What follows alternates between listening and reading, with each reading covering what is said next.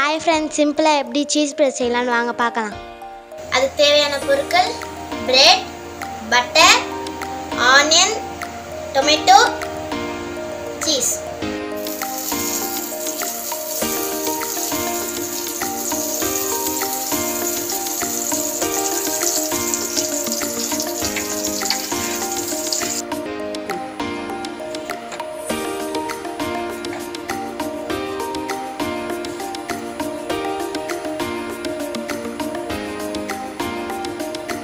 நம்ம இப்போ தோசைக்கல்லில் பட்டர் தடவையாச்சு. இப்போ ரெண்டு பிரெட்டு எடுத்து நம்ம தோசைக்கல்லில் வச்சாச்சு. ரெண்டு பிரெட் எடுத்து வைங்க. இப்போ நம்ம பிரெட்டை திருப்பி போடணும்.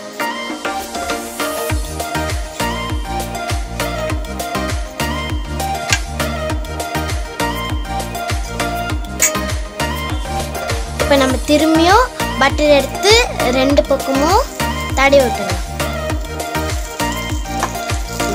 தோசைக்கல்ல ரெண்டு பக்கமும் பட்டர் எடுத்து தடவி விட்டுடலாம் இப்போ நம்ம சீஸ் எடுத்து ஒரு ப்ரெட்டு மேலே இப்போ போட்டுடலாம். இப்போது நம்ம ஆனியன் ரெண்டு ஆனியன் ரெண்டு இப்போ ஆனியனை நம்ம அது மேலே வைக்கணும்.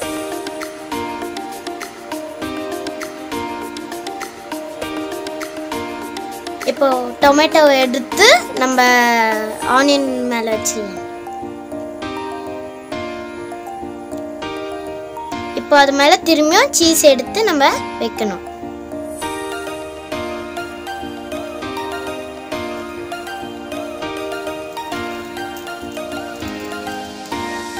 இப்போ இப்போ டொமேட்டோ வச்சாச்சு இப்போ அதுக்கு மேலே திரும்பி சீஸ் போட்டுருவோம்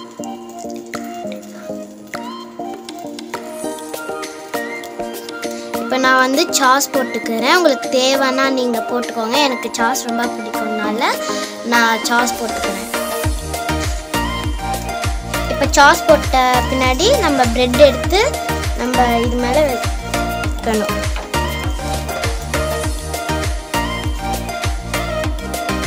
கொஞ்சம் நல்லா அமுத்தி விட்டுக்கணும் இப்போ பிரெட் எடுத்து இது மேலே வச்சாச்சு. இப்போ கொஞ்சம் புஷ் பண்ணி விடுங்க.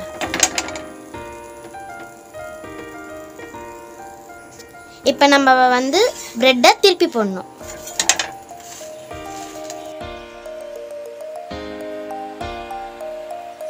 சீஸ் பிரெட் ரெடி வாங்க நம்ம எடுத்து சாப்பிடலாம்.